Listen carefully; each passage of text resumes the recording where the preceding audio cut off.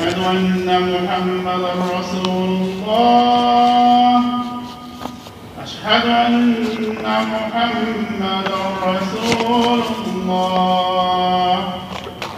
حي على الصلاة. حي على الصلاة. حي على الفلاح.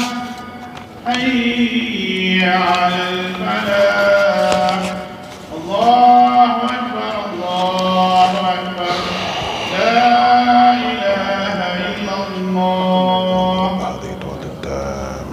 والصلاة قائمة آتي محمدا الوسيلة والفضيلة والمقام رضيت بالله ربا وبالإسلام دينا بمحمد قولي.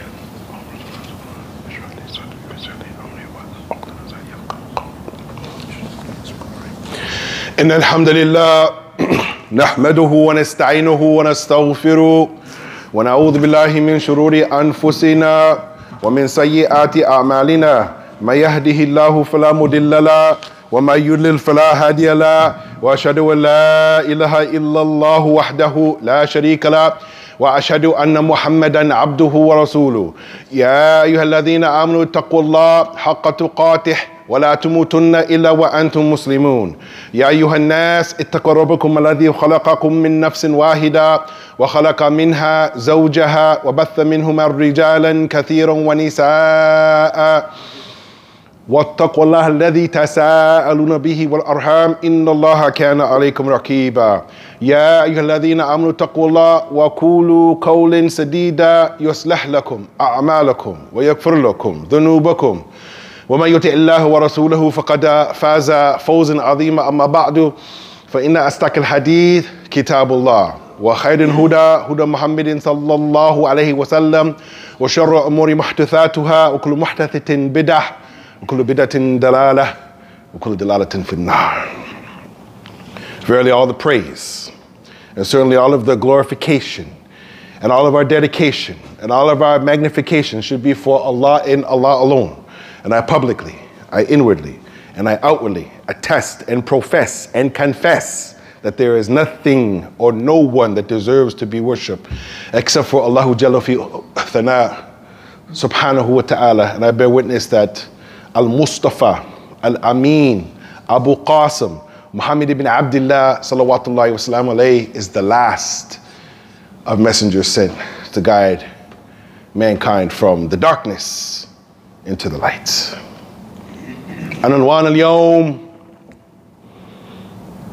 فقه واقع فقه الواقع يا إخوان Many of the brothers, they don't know about this science called fiqh al understanding the current affairs, understanding the circumstances, understanding the state of the ummah, understanding the context of the reality. Many of us, we've studied fiqh al-ibadah. Maybe some of us have studied fiqh al-nikah or fiqh al-mu'amalat or fiqh al-janazah. But the topic of fiqh al-waqi'ah, knowledge of the current affairs, ya ikhwan, it is so important, ya ikhwan. It is so important, my dear brothers. And when we look into the science, my dear brothers, based upon the hadith of the Prophet ﷺ, which is found in Imam Bukhari in his Sahih, the Prophet wanted to say, "Men yuridillahu bihi khairan yufaqihu fid If Allah He wants good for you, He'll give you comprehension of this religion, ya ikhwan. So, being people that are in the so-called land of milk and honey, the West, where I was born, my father was born, my grandfather was born. I know a little bit more than many of my brothers that came from different countries about how things go down in this society, ya ikhwan. We look at the situation in light of, ya ikhwan, the importance of how the ulama, the scholars, they stated clearly that those who lead the ummah and give answers to solve its problems should have knowledge, understanding of the circumstances and the realities. Hence, one of the famous sayings is, is that the hukm, the ruling on the thing, is a projection of one who understands of it, and that cannot be achieved except by understanding the circumstances surrounding the issue for which they have not given an answer, Yahwan. So many people, they come from different countries, Yahwan. And this is why it's so important, me as a new Muslim, alhamdulillah, we learn from the ulama, Yahwan, from amongst them. Ibn Qayyim, rahimahullah, in his very famous book, which many Muslims they don't know about, He has a book called I'lam Muwaqqi'in, ya which I'm still trying to purchase. The best way I guess you can translate that is those signatories or those who sign, those who try to sign for Allah Azza making things halal and haram, something like this. My, my translation may be off a little bit. The Sheikh said in there that I, here in the West, I don't have to take a fatwa from overseas, ya. I'm going to look for the fatwa from the ulama that are in this country, ya. Because the scholar who lives abroad doesn't know what I go through every day, ya. And just like they have problems in those countries, I can't make a fatwa, or any of the scholars make a fatwa, or anybody knowledgeable make a fatwa for over there, ya. Because you need to know the how the circumstances that the people are going through. So from the Shaykh, fiqh means understanding what concerns the Muslims with regard to their own affairs against those that are plotting and planning Yahwan to destroy Islam from without and from within, my dear brothers. Understanding reality in order to reach a proper ruling is important duty, and it's only for specialized, smart groups of seekers of knowledge to do this. So when we look at this situation here, many Muslims, they don't know where to get their news from. The best news for inna astakal hadith kitabullah wa khairul huda huda Muhammadin sallallahu alayhi wasallam ya ikhwan. It's clear for us, clear as day, if you understand what's being said, my dear brothers. So when we look at this situation, my dear beautiful brothers, when we all love you for Allah, where do you get your information? Al khabar. Where do you get your news from? From the newspapers? From magazines? From specialized journals written by think tanks, by periodicals, by tabloids. You know, when you go to the grocery store, you see all the old ladies there, they go and they find out what's going on with this person and that person. They spend it. That's probably one of the most distributed pieces of information that people buy. They get their news from that. Some people, they call it fake news, right? Where do you get your news from? From Twitter, from Reddit, from Instagram, from Facebook, from YouTube, from TikTok. Some of these, they may actually be really important in getting some information because it gives you an alternative to the media sources, ya My parents, they got their media their whole life from radio and TV. I don't have a TV in my house, I have a computer, but I listen to the radio every now and then, ya Who is trustworthy when we're getting our news, ya This is the question we need to be asking. Who is reliable? Thiqah. There's a science in Islam called khabra thiqa. The rijal, ilm al-rijal, who said what? Name us your men where you got your information. People listen to or watch CNN. Some of them watch Fox News. Some ABC, NBC, some Sky News. Some claim to be the most reliable, trusted source of information, ya So, ya one thing with social media is it gives the common man like me and you to give our own narrative and tell our own story, ya So that's why you find many of the youth, they're on these social media outlets, ya There is some good and there is some bad. It depends on how you use this tool. We are talking about and tell everybody today that the khutbah was about fiqh al-waqi'ah, knowledge of the current affairs.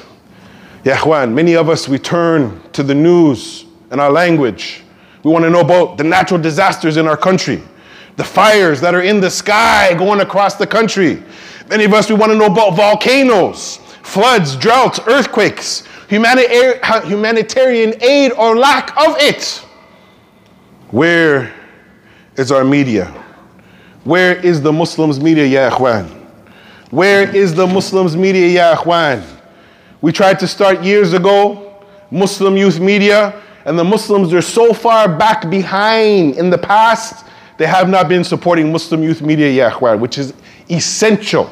More essential than the chandeliers that you see in some masjids, more essential than you see in the domes on the top of the masjids, more essential than you see in the minarets, which we can't even call the adhan, which would be a media. Muslim media is important, my dear brothers. So much so, ya that media sometimes it finds its way in music I grew up on the hip hop culture, Yehwan. So I got lots of my news from hip hop music and from watching gangster movies when I was young, Yehwan. Some of them good, some of them bad, Yehwan.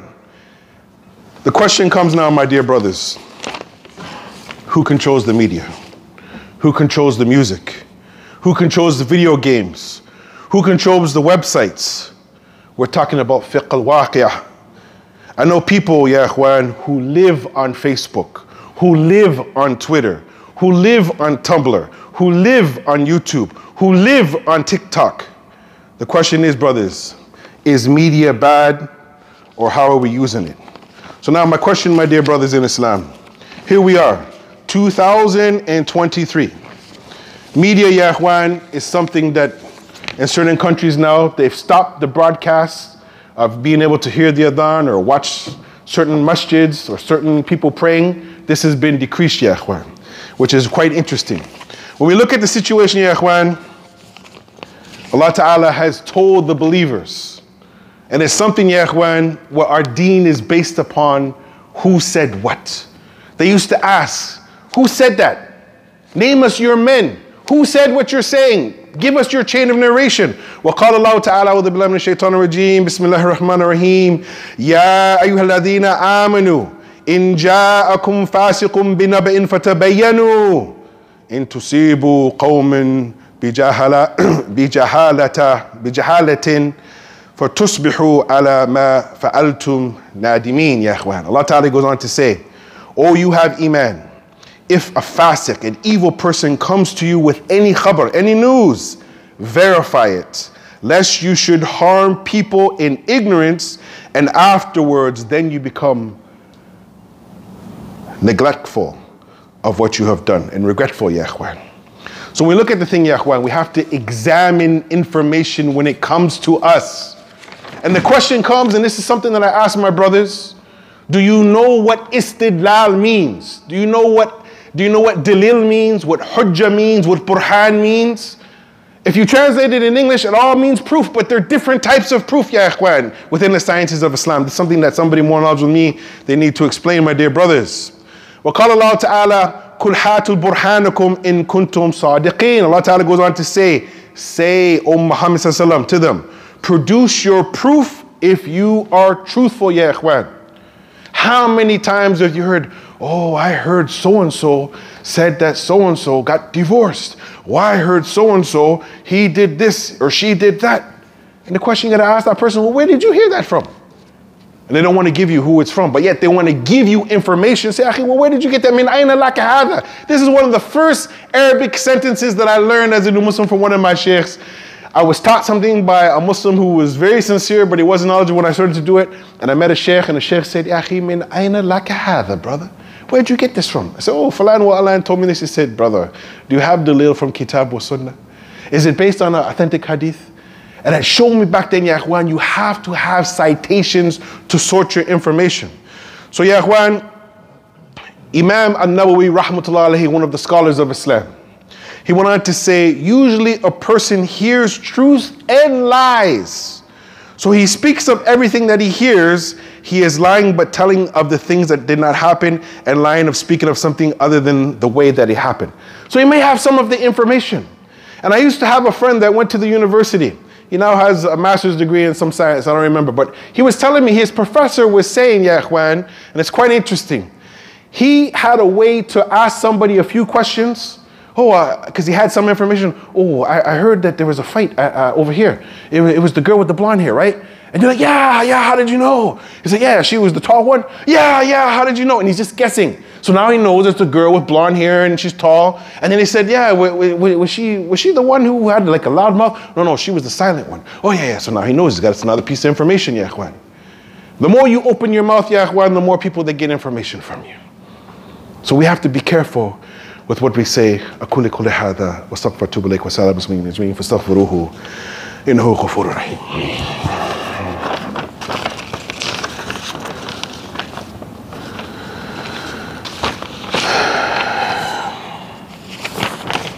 الحمد لله رب العالمين. حمد كثير طيبا مبارك فيه كما يحب ربنا ويرضى. The great scholar, Imam Ibn Qayyim rahimahullah, ya he wrote this book called I'lam al-Muwaqqi'in. And he went on to say in it that the mufti, this is something very fascinating to me as a new Muslim. I've asked different Muslims from different backgrounds, different cultures, what it means, and I found that depending upon where you're from, people they understand it differently. The mufti or the judge, the qadi, is not able to issue a fatwa or a verdict without understanding two things Number one, understanding and having a good grasp of the reality.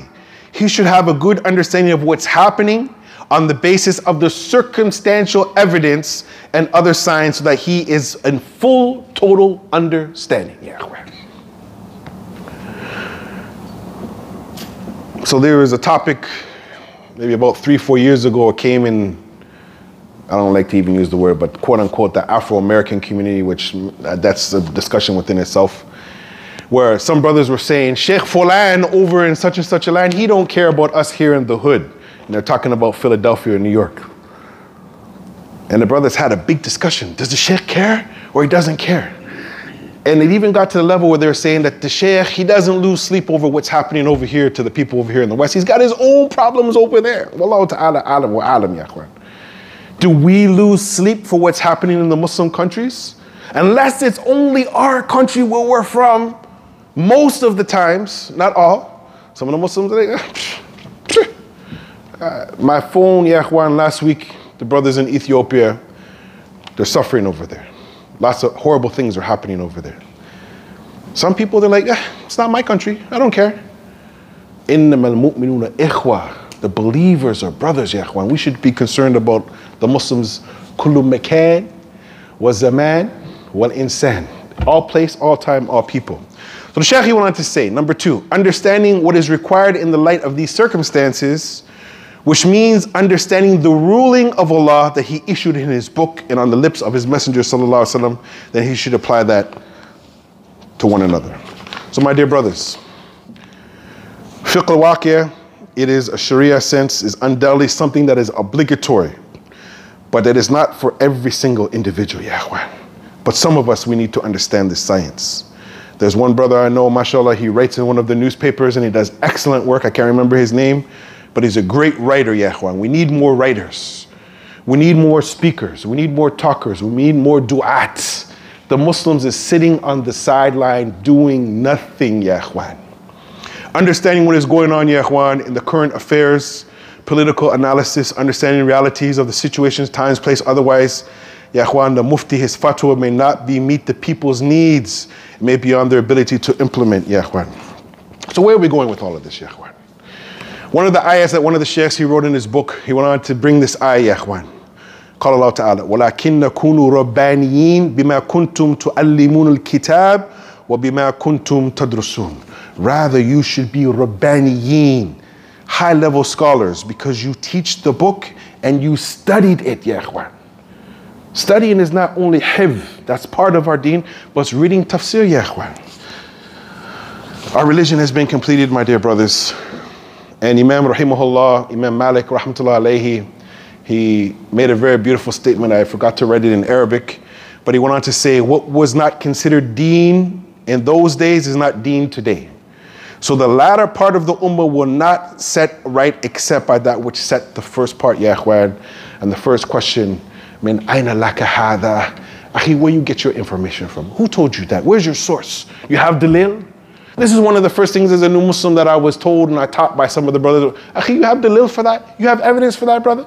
Where's your evidence? Where's your proof? Well, Sheikh so and so said, okay, we love, we respect Sheikh so and so, but what's his dalil? Where did he get it from?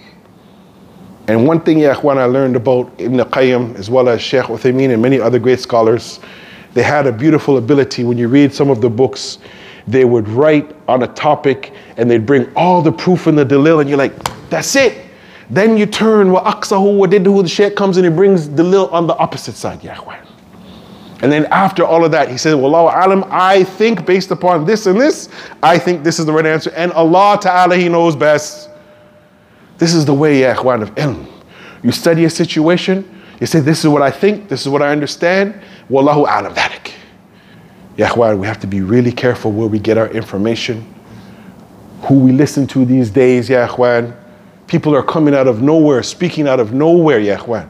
We have to ask them, Akhi, barakallahu fik, may Allah reward you for your hirs, trying to teach the religion, but Akhi, where do you get this from? And who taught you? And where's your chain of narration? And who did you study under? This used to be important, now it's not.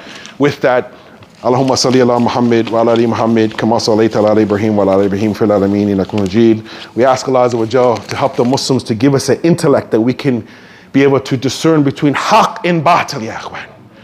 We ask Allah Azza wa Jal to give us an intellect, ya ikhwan, that we can see truth from falsehood, ya ikhwan. And we can practice what is true and, and stay steadfast upon the haqq. With that, hadama indi wa sallallahu wa sallam ala nabiyina Muhammad wa ala alihi wa sahbihi ajma'in. Kim as-salat wa rahmakallah.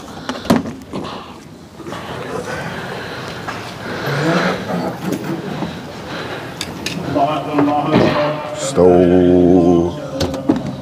So shit. حي على الصلاة حي على الفلاح قد قامت الصلاة قد قامت الصلاة الله أكبر الله أكبر لا إله They keep it live streaming on for the Quran. Yeah, you can take it off. استوت التراس وصله صف ووصله